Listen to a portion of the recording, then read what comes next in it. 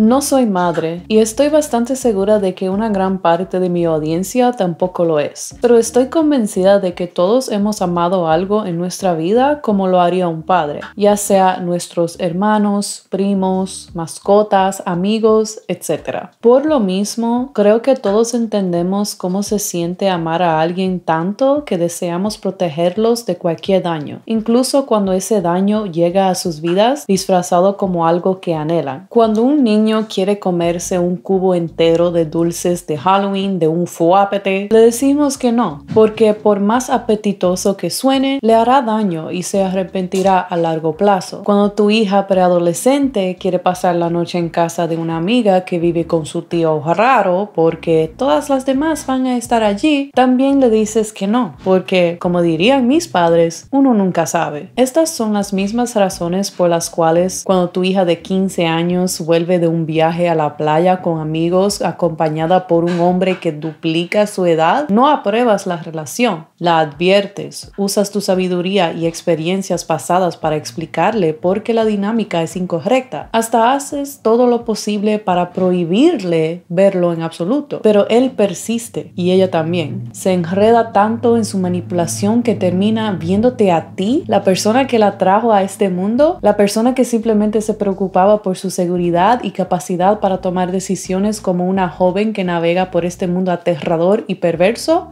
como la enemiga, no el hombre el doble de su edad que, a pesar de eso, decidió perseguirla, sino. Empieza a verte como el pequeño diablo en su oído y su mayor anhelo a partir de ese momento es cumplir los 18 años para poder abandonar la seguridad de su hogar contigo y sumergirse en las aguas traicioneras con él. El hombre que no solo destrozó tu relación con tu pequeña, sino que la alejó por completo de ti con sus palabras seductoras y promesas egoístas. Quizás esto sea solo una conjetura dramatizada de mi parte, pero después de ver el episodio del podcast Vete a Triunfar de Florencia Guillot no parece ser una versión tan exagerada de los eventos que ocurrieron con la madre de la invitada en su programa, Pau Florencia, debido a su ahora esposo, Mauricio Cuevas. Hola, ¿qué tal mi gente? Soy yo Giseni y hoy estoy de vuelta con otro video. Señores, Hoy nos enfrentamos a un caso muy fuerte y si eres un espectador habitual que está familiarizado con los temas que suelo abordar, es posible que estés asustado en este momento, pero no te preocupes. Aunque esta situación es muy fuerte, definitivamente no es lo peor que hemos presenciado en mi canal, pero es sin duda desalentadora. Una cosa es que esta situación haya ocurrido en primer lugar, pero otra cosa es que se narre de una manera que la glamoriza, intentando poner en un pedestal ante miles de personas influenciables que ahora pueden estar interiorizando que no solo es un camino de vida viable para ellos, sino también uno admirable. Si aún no sabes de qué estoy hablando, me refiero al episodio más reciente del podcast Vete a Triunfar, conducido por la creadora de contenido Florencia Guillot, donde entrevistó a la exitosa influencer Pau Florencia y su esposo Mauricio Cuevas. En este episodio, la pareja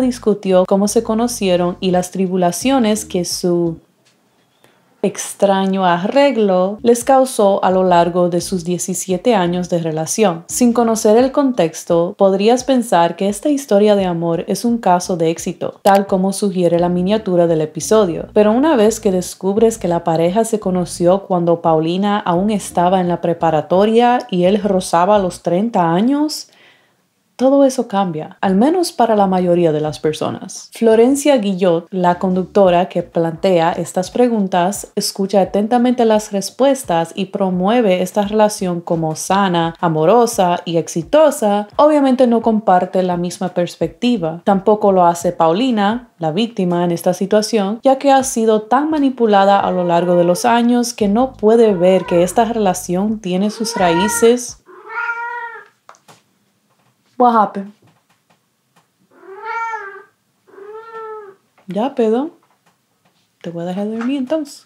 Tampoco lo hace Paulina, la víctima en esta situación, ya que ha sido tan manipulada a lo largo de los años que no puede ver que esta relación tiene sus raíces en un suelo nefasto. Incluso Mauricio, el perpetuador mismo, parece haber olvidado que su comportamiento estuvo completamente fuera de lugar y no solo merece ser cuestionado, sino también castigado con tiempo en prisión. En el podcast ahora eliminado, parecía estar más tranquilo de lo que debería haber estado, pero en realidad sí tuvo momentos en los que insistía en mantener ciertas líneas borrosas y unas otras resaltadas. Pero entraremos en eso más adelante, porque en este punto todos ustedes saben que no podemos comprender el presente sin entender el pasado, así que retrocedamos unos pasos y obtengamos una imagen más clara de cada una de las partes involucradas, comenzando con Sandra Paulina Florencia. Antes de que fuera reconocida simplemente como Pau Florencia o por el nombre de su influyente blog de belleza, The Urban Beauty, Sandra Paulina Florencia era una chica nacida en Tampico, Tamaulipas, el 3 de junio de 1990. Con una licenciatura en diseño de moda y marketing, comenzó su carrera laboral en la revista Glamour tras persistentes entrevistas, ya que no fue seleccionada después de la primera. Según la página chicmagazine.com, Pau se enamoró del mundo editorial y trabajó como coordinadora de belleza para Harper's Bazaar en español, accediendo a editora en un año y medio. Posteriormente se unió a la revista Elle, donde destacó como editora de belleza, sentando las bases para su éxito actual en el universo de la belleza dentro de las redes sociales. Alrededor del año 2017, Pau decidió emprender un blog y un canal de YouTube donde pudiera compartir su pasión por todo lo relacionado con la belleza y la moda con aquellos que también lo disfrutaban. Hoy es una reconocida influencer con más de medio millón de seguidores en Instagram y TikTok y 450 mil suscriptores en su canal de YouTube. Su contenido se basa principalmente en compartir datos y rutinas sobre el cuidado de la piel, así como tutoriales de belleza. Hasta los eventos recientes, Pau no solo era vista como una exitosa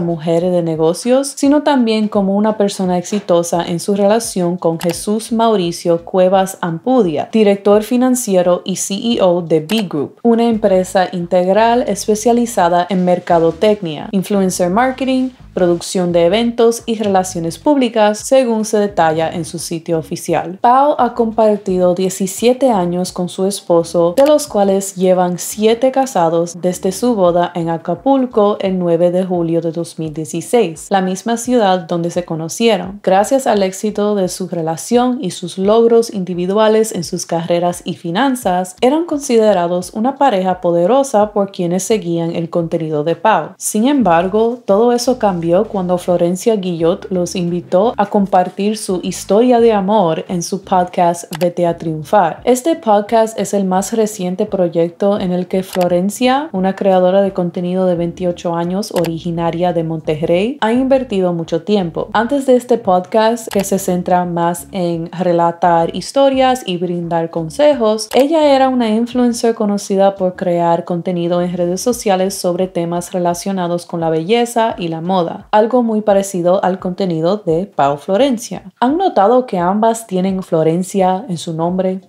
Es tan confuso. Florencia ha cosechado el éxito en ambas áreas de contenido que eligió explorar y desarrollar, logrando más de 660 mil suscriptores en YouTube, casi un millón en Instagram y casi 6 millones en TikTok. Como puedes ver, tiene muchos ojos puestos en ella, lo que hace que las palabras de aliento dirigidas hacia el perpetrador y la víctima de esta perturbadora historia de amor, así como a sus propios seguidores para promover este episodio horroroso sean aún más lamentables. En una historia de Instagram que publicó con el propósito de promocionar el episodio, dijo lo siguiente, uno de mis mayores ejemplos de una relación sana, amorosa y exitosa. Invité a arroba The Urban Beauty y arroba para que nos cuenten cómo le han hecho para durar 17 años juntos y además superar obstáculos y que no le importe lo que piensa la gente. Por favor, mantengan ese sentimiento en mente mientras nos adelantamos y entramos a los detalles compartidos en este podcast que fue titulado Llevan 17 años juntos, hashtag Storytime, relación exitosa. La miniatura reiteraba esta idea de Pau y Mauricio siendo presentados como este power couple, girl boss, man boss, que todos tenemos algo que aprender de ellos con el texto El amor todo lo puede, caso de éxito, escrito encima de la miniatura. Debido a que este episodio del podcast tiene más de una hora y media de duración, una hora 43 minutos y 53 segundos para ser exactos, no voy a reaccionar a todo el episodio y hacerlos pasar por esa tortura. Sin embargo, decidí torturarme a mí misma viendo todo el podcast de principio a fin y tomé notas de puntos importantes que me gustaría discutir con todos ustedes. Este es el momento en el que deberían conseguirse una meriendita si aún no lo han hecho, porque estoy a punto de activar mi superpoder ancestral de mujer que habla demasiado. Vamos al mambo. En el inicio del podcast, Florencia, la presentadora, presenta a la pareja como sus padres adoptivos. Ya demasiado emocionada porque estoy con una pareja que admiro muchísimo, con Mau, con Pau, que mejor conocía como The Urban Beauty. Y para los que no sabían, oficialmente ellos son mis padres adoptivos. Lo cual me da una pista de una de las razones por las que posiblemente estaba cegada o dudaba en darse cuenta de todas las enormes banderas rojas que comenzaron a surgir durante el proceso de ellos contar su historia. Además de los constantes elogios por parte de Florencia hacia la pareja, hay otro patrón que se repite a lo largo del podcast. Paulina busca constantemente la aprobación de su esposo Mauricio. Y sé que no soy la única que lo notó, ya que otros también comentaron sobre este comportamiento extraño. La gente también ha señalado, como suele suceder en controversias como esta, diversas instancias en las que Mauricio la corrige, como si fuera su padre o algo por el estilo.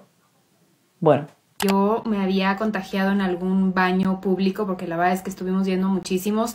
No soy de las personas que se aguante, no me considero que me haya dado por eso de que me aguante de ir al baño. Tampoco, ajá, tampoco porque tomé eh, poca agua, porque también tomo muchísima agua, creo que en general.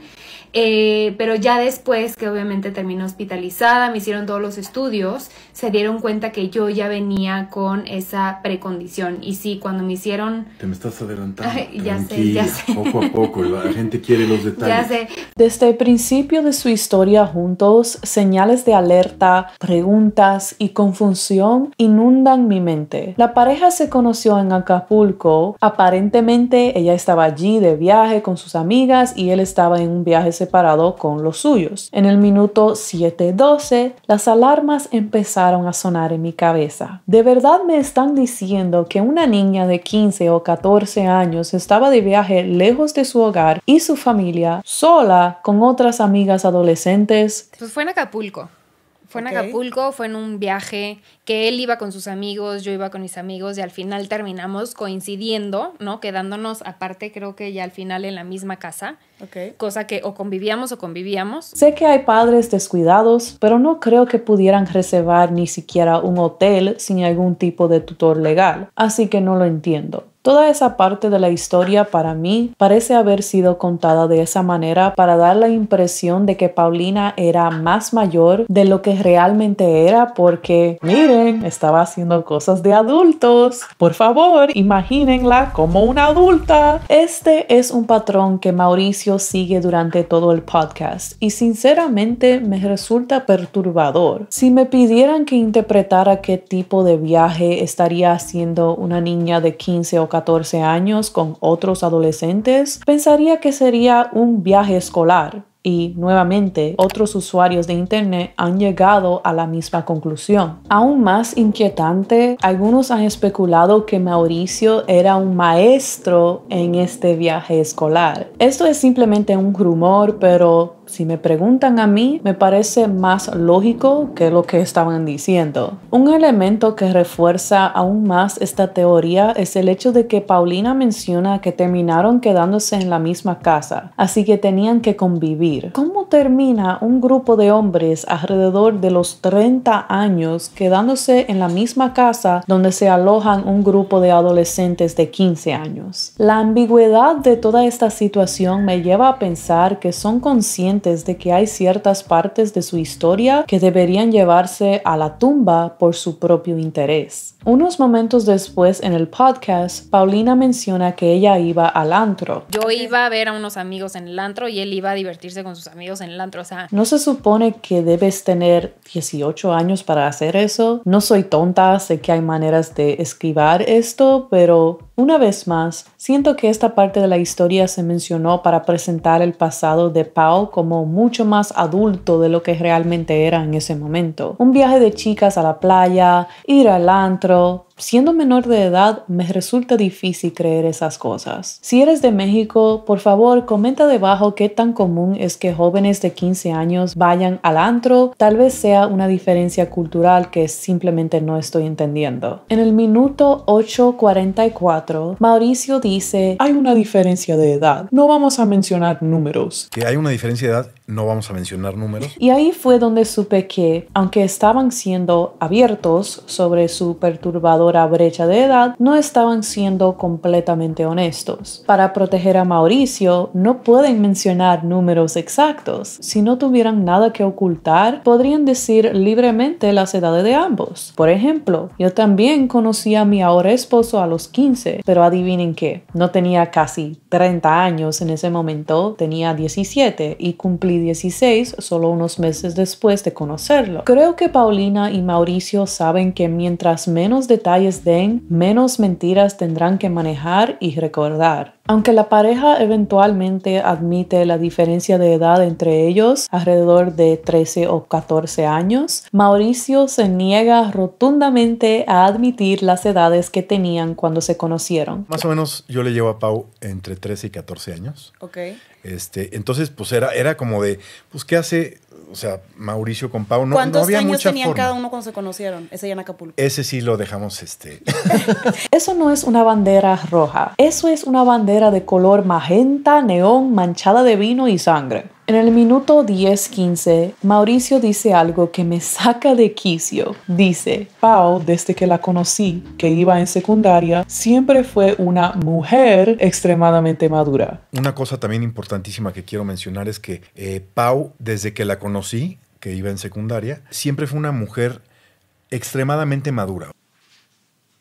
Iba en la secundaria, no era una mujer, era una niña, una adolescente. ¿Ven lo que quiero decir sobre cómo intentan retratarla como una persona sabia y madura cuando en realidad era solo una estudiante de preparatoria? Para todas las jóvenes que ven esto, sí, incluso aquellas que ya tienen más de 18 años, por favor, dense cuenta de que cuando un hombre mayor que intenta tener una relación romántica contigo dice que eres madura para tu edad, solo está tratando de halagarte para lograr sus objetivos. Esa frase es típica del comportamiento de un manipulador y voy a compartir con ustedes una publicación de Reddit que explica de manera más clara por qué no es el elogio que piensas, sino una señal de alerta. Como la mayoría de las chicas, me enseñaron que mi madurez era una calidad buena. Mi abuela hacía mucho hincapié en eso, pero no entendía la diferencia entre una anciana que lo decía y un hombre depredador. En la superficie es una afirmación inofensiva, pero con retrospectiva es una frase que coloca a las chicas en una posición de querer estar a la altura del elogio. Y si ese contexto es bueno, ya conocemos cómo termina esa historia. Porque realmente quiero que este punto quede grabado en tu cráneo. Aquí tienes un fragmento de un artículo de metro.co.uk que también lo explica. Decirle a una persona más joven que es madura podría interpretarse como grooming. Dice Kathy Press, una psicoterapeuta especializada en relaciones a metro.co.uk. Esto sería un comportamiento clásico de encantador, diciéndole lo que ella quiere escuchar desde el principio o en las primeras etapas de la relación. Podría estar diciendo estas cosas para hacerle creer que respeta su madurez y la encuentra atractiva, lo que puede hacer que una persona más joven se sienta muy adulta y respetada, mientras que si el sentimiento es genuino, está bien, la terapeuta senior Sally Baker lo ve como una excusa para la brecha de edad. Un comentario como este se utiliza para justificar una brecha de edad de la que alguien se siente avergonzado o incómodo dice, están señalando la madurez excepcional de una persona más joven como una manera de pasar por alto lo obvio. Sé que muchas personas podrían no estar de acuerdo conmigo y está bien, todos tenemos derecho a tener opiniones diferentes, pero personalmente no me agrada la idea de brechas de edad en las relaciones, especialmente cuando ocurren en las etapas tempranas de la vida. No estoy de acuerdo con una relación entre un joven de 15 años y uno de 20, ni entre uno de 20 y uno de 30 tampoco entre uno de 30 y otro de 60. En casos con diferencias de edad como entre una persona de 25 y otra de 30 o de 40 a 50, la situación cambia. Pero, ¿qué diablos tienen en común un estudiante de secundaria o universidad con alguien que tiene décadas de experiencia laboral y vital? Veo a las personas de 22 años como bebés y apenas tengo 25 años, así que es una locura para mí que a la gente de mi edad se le ocurra tener relaciones con alguien que tiene 18 años y acaba de terminar la escuela secundaria. Anyways, en el minuto 11.57, Paulina habla sobre cómo ella fue con sus amigas y Mauricio fue con sus amigos al antro y como sus amigas la dejaron botada y Mauricio, siendo el hombre maravilloso que es, la cuidó toda la noche. Oye, lo entonces empezaron a platicar y a ver, seamos honestos, ahí empezó ya un poco el liguecito o era muy amistoso todo. Ahí amistoso No, hasta que muy estuvimos en el amistoso. antro. Como que ya no nos despegamos. Ya en el antro ya, o sea, mis amigos me dejaron botada. Entonces como que él, como que me cuidó, por así decirlo así, de que vente, platica conmigo. No conocía a nadie más porque yo pues salía a antros de gente más grande. Mi amor, claro que te iba a cuidar. Él era tu niñero.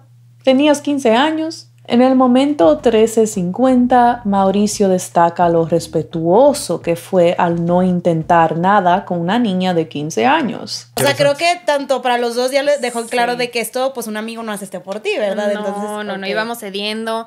Este, luego también regresamos y dije, bueno, de aquí a que lo vuelvo a ver raro. Intercambiaron tipo mails, correos. Ajá. Para eso está todo esto, antro, beach club, todo el, el señor aquí, ni medio beso, pero ni en el cachete. No, no, yo, es que yo, tenía- yo soy bastante Y yo así de, y luego, Amiguito, la falta de respeto ya empezó cuando conociste su edad y, a pesar de eso, decidiste entablar una conversación con ella, pasar tiempo juntos y contemplar la posibilidad de ser pareja. Esto no solo es una falta de respeto, sino también de ética y sentido común. En el minuto 4.12, la pareja admite que fue Paulina quien dio el primer beso. bueno, y nos marcamos, que estés bien, y yo. Y, Ah, que, le, caray. y que le planto el beso. Ajá. Y el otro se quedó así. Y aunque Mauricio piensa que esto le hará lucir bien a él, no es así en mi opinión. No importa si ella lo llevó a la habitación y le bajó los pantalones. Él es el adulto en la situación y debería haber sabido mejor. Permitir que la relación llegara al punto en que un beso fuera una posibilidad es negligente y siniestro por su parte. En varias ocasiones, el propio Mauricio admite que se encontró a sí mismo Pues cada uno nos quedamos como pensando con, o platicando con nuestras almohadas de, a ver, o sea, es una chavita. y a quienes los rodeaban, Todo eso influyó muchísimo, o sea, las familias, los amigos, o sea, Mauricio, ¿qué haces con una niña? preguntándose por qué querría estar con esta niña o chavita, como él dice, y el hecho de que incluso después de esa realización aún persiguiera la relación me da una idea del tipo de persona que es este hombre. No resuena en mí como una historia de amor romántica llena de pruebas y tribulaciones, simplemente es enfermizo. En el minuto 18.10, Mauricio menciona que la pareja conoce a otras parejas que se llevan más de 14 años, sino 20 o 25 y funcionan. Conocemos a parejas que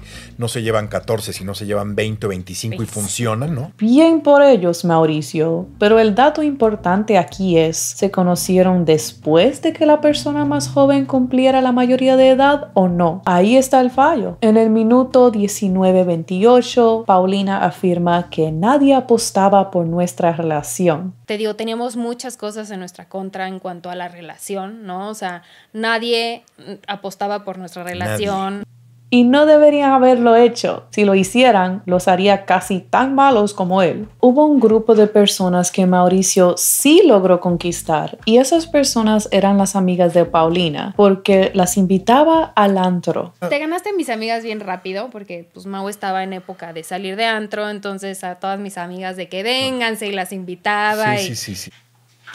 Vuelvo y pregunto, ¿qué hace un tipo de casi 30 saliendo con niñas de secundaria al antro? ¿Por qué la gente de tu edad no quiere socializar contigo? Mira, cuando eres niño y tienes un amigo adulto que se une a tu grupo, te lleva en coche, te compra alcohol y ese tipo de cosas, ves a esa persona como la más genial que ha caminado sobre la tierra. Pero cuando creces lo suficiente como para tener la misma edad que tenía ese adulto cuando se juntaba con niños, empiezas a darte cuenta de lo perdedor y extraño que era esa persona. Todos los amigos de Paulina probablemente tuvieron esa revelación, pero no Paulina. Estuvo atrapada en su telaraña durante demasiado tiempo como para escapar. Ahora, la próxima parte que estoy a punto de abordar es lo que inspiró la introducción dramática al principio de este video. Es el momento en el que Paulina empieza a hablar sobre la relación de su madre ante la relación entre ella y Mauricio. Y no solo me rompe el corazón, sino que me irrita hasta la médula. Ella comienza explicando que cree que a su mamá no le gustaba la relación, no porque Mauricio sea un fósil antiguo adecuado para una donación a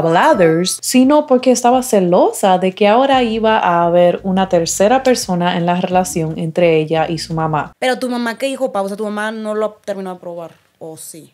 Al final ya no al final mi mamá y yo éramos muy, muy apegadas, entonces el saber que iba a haber como una tercera persona dentro de nuestra relación, siento que eso es lo que más le pudo pesar porque no era Mao. Continúa diciendo que su mamá estaba poniendo demasiados obstáculos para que ella pudiera ver y estar con Mauricio. Sí hubo mucho ya como mucha resistencia que yo estuviera con Mao, ¿no? O sea, como que en general me quería poner muchas trabas. Si tú fuera mi hija, yo te pusiera lo jodido olímpico para que tuviera a Mauricio, ¿ok?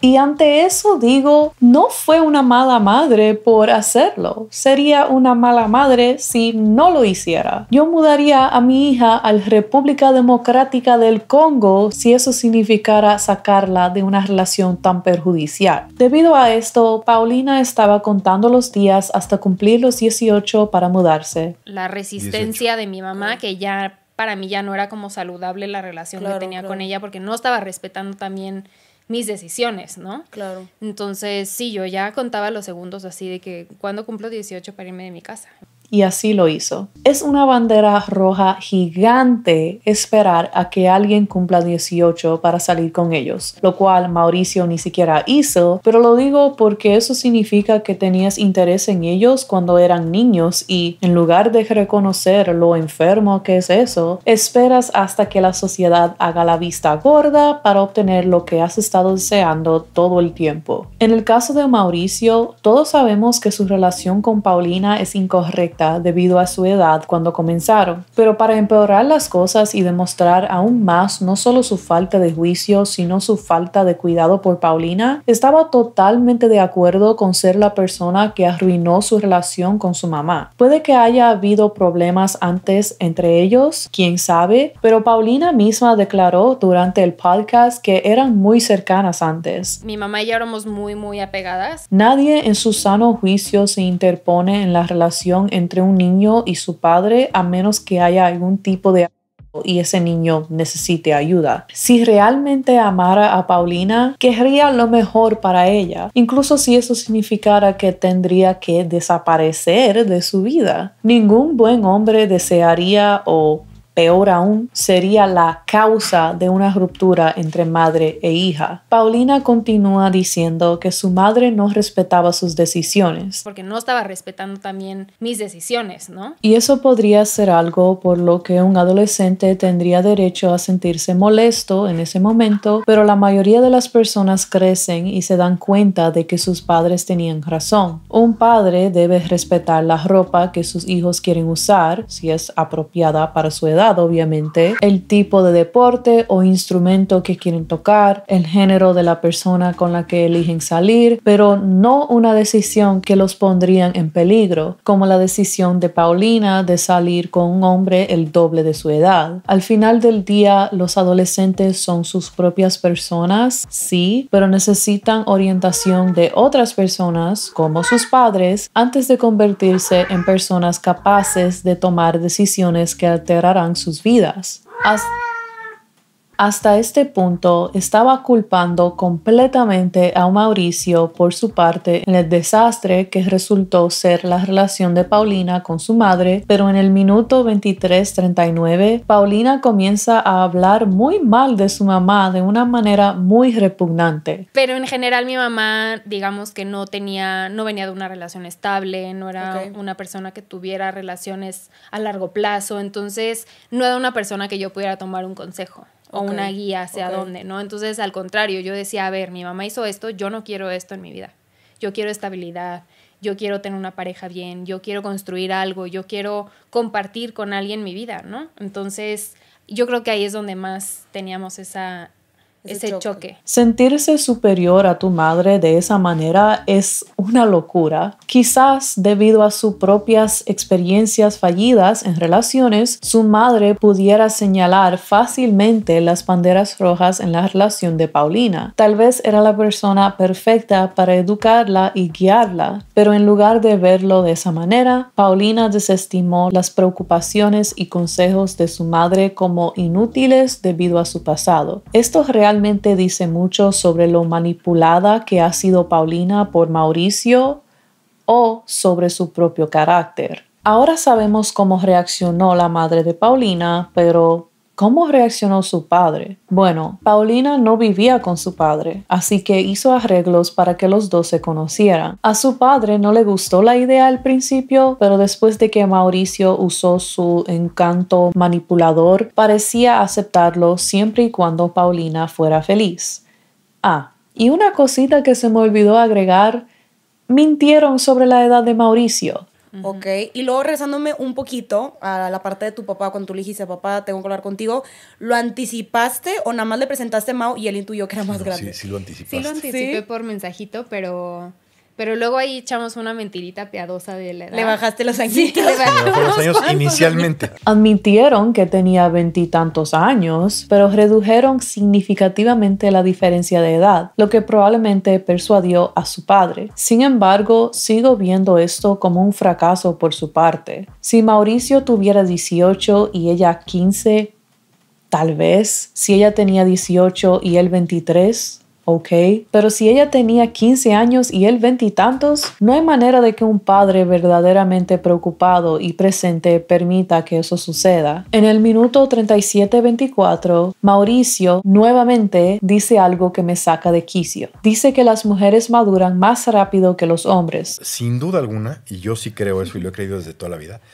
las mujeres maduran muchísimo más y muchísimo más rápido, la neta, ¿no? Entonces, sí creo que una mujer y un hombre de la misma edad, o sea, la mujer le da 14 mil vueltas al hombre, pero así y no lo está diciendo una mujer, lo está diciendo la De verdad, es que hay que aceptar las cosas. O sea, sí las mujeres traen otro rollo, traen otra madurez. Y la verdad, pues los chavitos estamos muy pendejos a esa edad.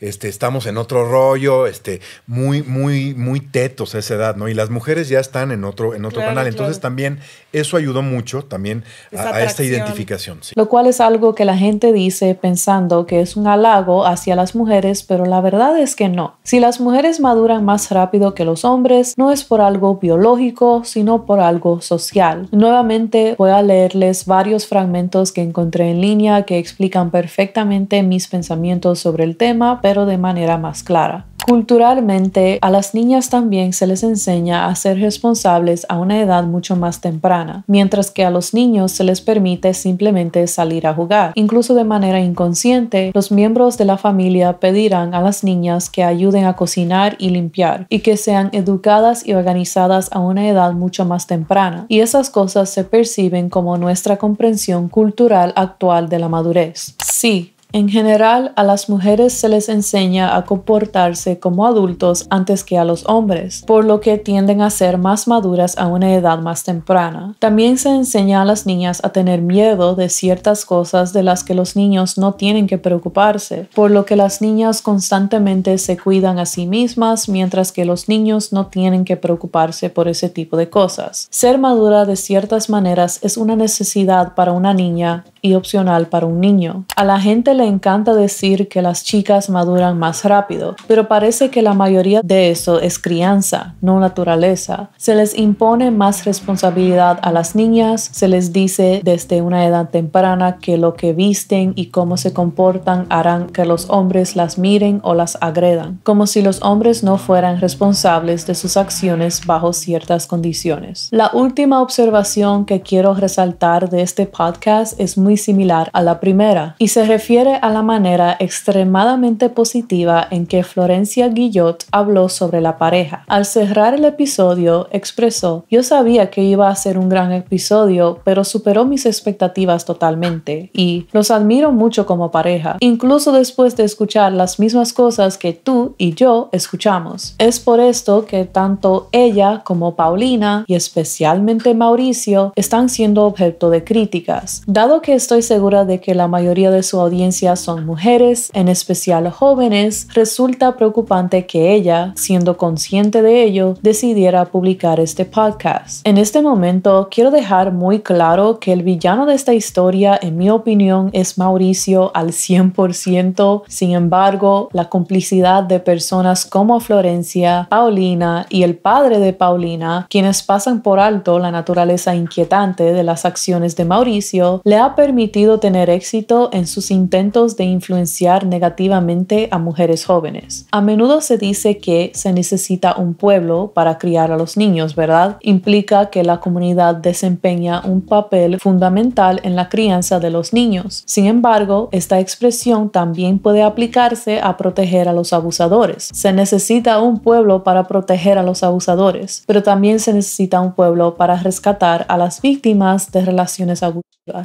De si a Paulina le gusta aceptarlo o no, fue una víctima. Puede que ya no lo sea técnicamente, pero cuando era una niña fue aprovechada por el hombre que ahora llama su esposo. No espero que ella llegue a esa realización por sí misma, especialmente después de 17 años de manipulación. Sin embargo, es crucial difundir este mensaje para prevenir que otras chicas en la situación de Paulina se encuentren en circunstancias similares para comenzar. En conclusión, creo que Florencia debería reflexionar profundamente y cuestionarse por qué no identificó las señales de alerta en esa relación o por qué optó por pasarlas por alto y promocionarlas ante su audiencia impresionable. No espero que Paulina abandone a su esposo ni que comprenda que lo que la gente está diciendo es muy razonable, pero espero que pueda encontrar una forma de sanar cuando se dé cuenta de ello si alguna vez llega ese momento. Y a Mauricio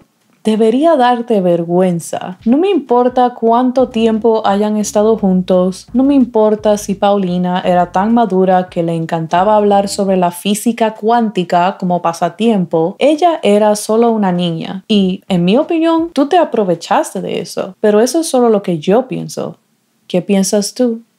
Bye. En realidad no, espera. Antes de irme quería abordar ciertos rumores que están flotando por ahí en internet antes de que la gente diga que estoy desinformada por no hablar de ello. Nuevamente, estos son rumores que no puedo probar en absoluto. Bien, se publicó un artículo el 12 de febrero de 2021 titulado Parejas unidas a lo largo de los años y Paulina y Mauricio aparecieron en este artículo. Eso está muy bien. Lo que no está bien, sin embargo, es que el artículo dice que la pareja se conoció en 2001.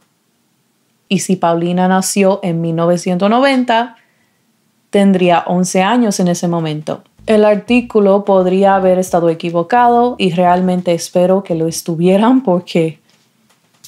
¿Qué diablos? Otro rumor que circula las redes es que Mauricio sigue cuentas en Instagram de modelos muy jóvenes que publican fotos picantes. Llamo a esto un rumor porque su cuenta ha sido privada desde entonces, por lo que no puedo confirmar que esto sea cierto yo misma. Pero hay capturas de pantalla de esto circulando en Twitter, así que tómalo como quieras. Todas las modelos tienen más de 18 años, pero todavía son bastante jóvenes y, como dijo un usuario, puede que sean mayores de edad, pero todas estas chicas tienen algo en común, una imagen infantilizada aparentando ser Todas comparten eso. Es extraño y retorcido. Ok, ahora sí, eso es solo lo que yo pienso. ¿Qué piensas tú? Bye.